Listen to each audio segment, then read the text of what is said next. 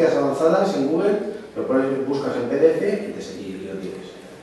Presentéis el esquema y ponéis cuál es mi estructura de costes, en qué me tengo que gastar yo el dinero para desarrollar toda la parte de infraestructura que tengo aquí. Como decimos ayer, ¿puedo poner porcentajes? Puedo poner porcentajes. Puedo poner incluso, a lo mejor incluso rangos. En lugar de porcentajes, voy a gastar el 20% en, recursos humanos, voy a gastar en, en alquileres el 10%. Pues entre un 15 y un 20% lo voy a gastar recursos humanos. Puedo poner eso. Más o menos que nosotros lo tengamos, lo tengamos un poquito claro. Pero tampoco pondría yo mucho más aquí. Luego, como, como os he dicho, a la hora de, presentarlo, si es posible, que luego os pregunten, oye, ¿sabes un poquito esto? ¿Tú por qué tienes esa estructura de costes y por qué no, no tienes otra? Entonces, eso sí que se supone que como eh, defensores de un proyecto sí que lo tenemos que tener claro.